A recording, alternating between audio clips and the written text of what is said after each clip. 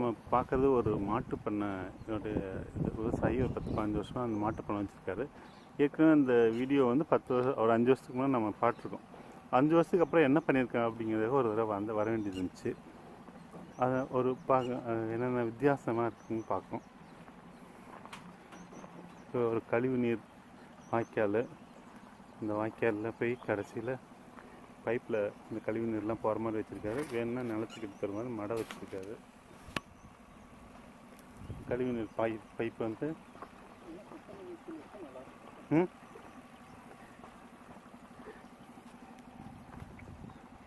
இங்கே ஒரு தொட்டி கட்டி இந்த தொட்டியில் வந்து அந்த க மாடு கழுவுற கழிவு நீர் யூரின் எல்லாம் கலெக்ட் பண்ணிட்டாங்க. இங்கே ஒரு மோட்டர் வச்சு இது அப்படியே வயலுக்கு பம்ப் பண்ணுறாங்க சொட்டு நீருக்கு மற்றும் செழிப்பு நீருக்காக பண்ணுற மாதிரி ஏற்பாடு பண்ணியிருக்காங்க அப்புறம் சாணத்தை இங்கே போட்டு வச்சுருக்காங்க. போர் வைக்கோல் காஞ்சி போன பருத்தி உணவு போகிறதுக்காக வைக்கோல் போட்டு பாதுகாப்பாக வச்சுருக்காங்க. இப்போ சோளத்தட்டு பருத்தி உணவுங்கிறதுக்காக சோளத்தை வச்சு இப்போ அறுவடை பண்ணிகிட்டு இருக்காங்க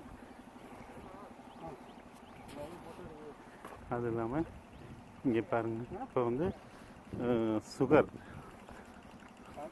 சக்கரை சோளம்னு சொல்லி புதுசாக ஒரு புது வெரைட்டி போட்டிருக்காங்க.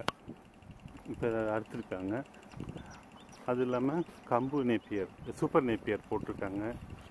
அது இல்லாமல் கோஃபோர் கோஃபை போட்டிருக்காங்க வேலி மசால் போட்டிருக்காங்க. இது எல்லா தீவனமும் பற்றி பண்ணியிருக்காங்க. ஹைட்ரோஃபோனிக்ஸ் போட்டிருக்காங்க சாஃப் கட் வச்சுருக்காங்க மில்கிங் மிஷின் வச்சுருக்காங்க.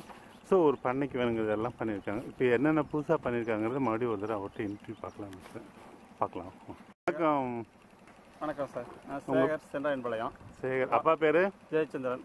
சென் சென்றாயம்பாளையம்? சென்றாயன்பாளையம் வாழப்பாடி வட்டம் ஆலப்பாடி வட்டம் சேலம் மாவட்டம் சேலம் மாவட்டம் இப்போ ஏற்கனவே உங்கள் பண்ணைக்கு ஒரு அஞ்சு வருஷத்துக்கு முன்னே வந்திருப்போமா? வந்தோம். அப்போ வந்து எல்லாத்தையும் வீடியோ போட்டோம். அப்போ அதுக்கு அந்த அஞ்சு வருஷத்துக்கு அப்புறம் என்னென்ன மாறுதல் பண்ணியிருக்கீங்க புதுசாக என்ன டெக்னாலஜியை இப்போ இன்ட்ரடியூஸ் பண்ணியிருக்கீங்க என்ன மாறுதல்ங்கிறது பார்க்கலாங்கிறதுக்காக வந்திருக்கோம். என்ன பண்ணியிருக்கீங்க புதுசாக இப்போ வந்து சோ தீவனம் வந்து முன்ன வந்து கோ மூணு கோ நாலு இருந்துச்சு. இப்போ தீவனம் வந்துட்டு வந்து கோ அஞ்சு ரகம் போட்டுருக்குறோம் போயிருக்கீங்க அதுக்கப்புறம் இப்போ வந்து சுகர் கிராஸ் சோளம் போட்டிருக்கிறோம் சுகர் கிராஸ் சோளம். போட்டிருக்கிறோம் சூப்பர் பேர் கொஞ்சமாக சாம்பிளுக்காக விதை கொஞ்சமே விதை கிடைச்சி அது போட்டிருக்கிறோம் சரி. ஹைட்ரோபோனிக் போட்டிருக்கிறோம். ஸோ இப்போ நீங்கள் வந்து கோஃபை புதுசாக போட்டிருக்கீங்க.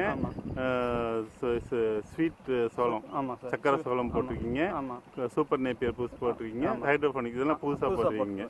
சரி. இதை பற்றி உங்கள் அனுபவத்தை கொஞ்சம் சொல்லுங்க பார்க்கலாம். இப்போ நம்ம இது பார்க்குறது என்னதுங்க? இது வந்து சுகர் கிராஸ் சோளத்தோட இது அறுத்தது ஒரு தான் அறுத்தது இது வந்து மல்டி கட்டிங் இது சுகர் சுகர் கர் சுகர் கிராஸ் சுகர் கிராஸ் சோ- சோளம் மாதிரி. சோளம் ஆமாம் ஆமா. அது அறுத்துட்டீங்க ஒரு தடவை அறுத்துட்டீங்க ரெண்டாவது மருதாம்பு வந்துட்டு இருக்கு. தான் வந்துட்டு இருக்கு. சரி இது வந்து அடி இல்லை பன்னெண்டு அடி உயரம் வள- வளருது. பன்னெண்டு அடி உயரம் வளருது. ஆமா. எ- எவ்வளவு நாள்ல?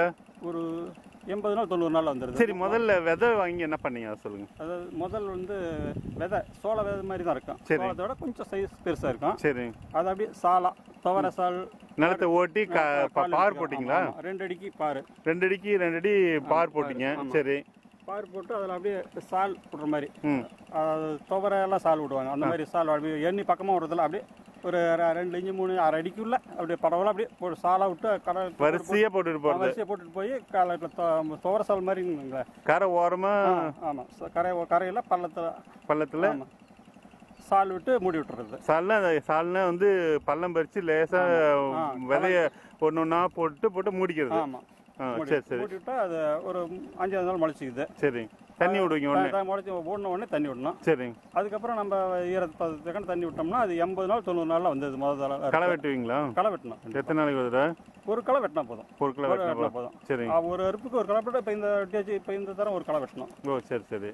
ஒரு தரம் அறுத்தா ஒரு களை வெட்டினா போதும். இப்போ இவ்வளோ விதை நேர்த்தி ஏதாவது பண்ணுமா? சுடுதண்ணியில் போடுறது அந்த மாதிரி. எதுவும். இது வந்து விதை நேர்த்தி பண்ண விதையாக இருக்கேன் ஒரு கிலோ நானூற்றம்பது ரூபா. நானூற்றம்பது ரூபா. எங்கே கிடைக்கும்? இது வந்து அட்சன்ல வாங்கினேன். அர்சனுங்க தனியார் பால் பண்ணி தனியார் கொடுக்குறாங்க. ஒரு கிலோ நானூற்றம்பது ரூபா. ஒரு ஏக்கருக்கு எவ்வளோ விதை அஞ்சு கிலோ விதை. அஞ்சு கிலோ விதைப்படுது இப்போ வந்து பார் போட்டு பார் பள்ளத்தில் வரிசையாக லேசாக கிளீன் ஆ, அதுல விட்டு மூடிடுறோம். விதைக்கு விதெல்லாம் எதுவும் கணக்கு இல்லை. விதைக்க வேண்டியது. இது மல்டி கட்டிங்னா களை வெட்டி தண்ணி பாயாது இது கம்மியான தண்ணி பாயும் அவ்வளோ நெருக்கமாக விதைக்க வேண்டியது இல்லை நெருக்கமே நான் ஒவ்வொன்றுக்கும் ஒன்றுக்கு ஒன்றா போதும். ஒரு சொட்டு வந்து மூணு நாளாக கிளச்சி வருது. அதனால இடைவெளி வேணும்.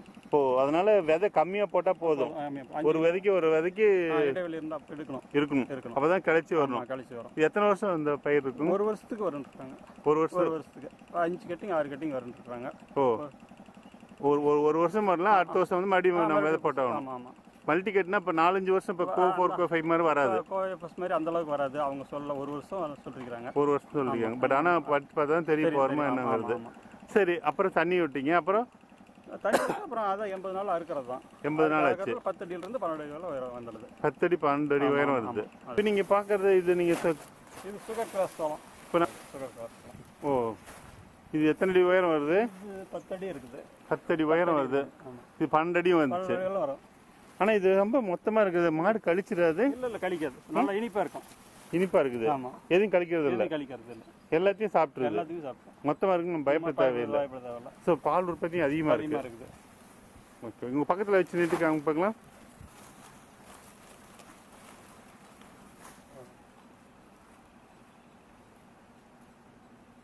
ஸோ உயரமாக இருக்குதுன்னு கவலைப்படுறது மொத்தமாக இருக்குதுன்னு கவலைப்பட தேவையில்லை. ஒரு ஏக்கருக்கு எத்தனை விதை? எவ்வளோ விதை? அஞ்சு கிலோ விதை ஸோ புதுசாக போடுறவங்க இந்த சுகர் கிளாஸா போடலாம். சுகர் கிளாஸாக போடலாம். ஓகே ஓகே சரி இது வந்து தட்டு மொத்தமாக இருக்கா? மெல்லிசா இருக்கா? மொத்தமா இருக்கும். முச்சோள தட்டு மாதிரி இருக்கும். மிருச்சாவல் தட்டு மாதிரி இருக்கும். இப்போ அது வந்து மாடு கழிக்குதுங்களா? இல்ல இல்ல கழிக்காது. நல்லா இனிப்பா இருக்கும். இனிப்பாக இருக்குது. இனிப்பா இருக்கு எப்படி சொல்றீங்க? இனிப்பாக இருக்குன்னு நாம தின்னு பார்க்கலாம். ஓ. கரும்பு அது மாதிரி கடிச்சு பார்த்தீங்க கடிச்சு பார்த்தா நல்லா இனிப்பா இருக்குது.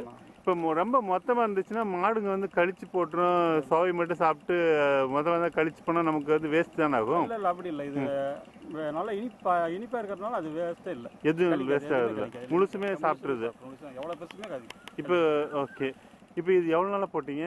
இப்போ ஒரு இருபத்தஞ்சு சென்ட் போட்டுருக்கேன். இருபத்தஞ்சு சைடு போட்டீங்க. மாடுக்கு எத்தனை நாள் போட்டீங்க? இப்போ ஒரு எட்டு மாட்டுக்கு ஒரு முதல் கட்டிங்கில் ஒரு முப்பது நாள் போட்டிருக்கோம். முப்பது நாள் போட்டீங்க. ஃபஸ்ட்டு கட்டிங்கெல்லாம் போட்டு முடிச்சிட்டீங்க. இது ஏதாவது வித்தியாசம் இருக்கா? மாடு சாப்பிட்றதுல இல்லை தீவனத்தில் போட்டதுல பால் உற்பத்தி ஒரு மாட்டுக்கு ஒரு நாளைக்கு அரை லிட்டர் சேர்ந்து வருது. எது மற்ற இதுக்கு முன்னே என்ன போட்டுருக்கீங்க கோ ஃபைவ் இருந்தேன். கோ ஃபைவ் அதை விட இதில் கொஞ்சம் சேர்ந்து வருது. சேர்ந்து வருது. சேர்ந்து வருது. பால் உற்பத்தி அதிகமாக உற்பத்தி அதிகமாக இருக்குது.